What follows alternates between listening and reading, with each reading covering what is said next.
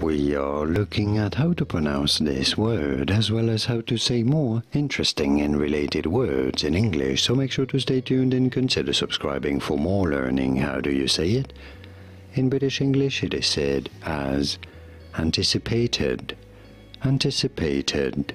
In American English, however, it is usually pronounced as anticipated, anticipated. In American English versus anticipated in British English. Did you get this? Was this any helpful?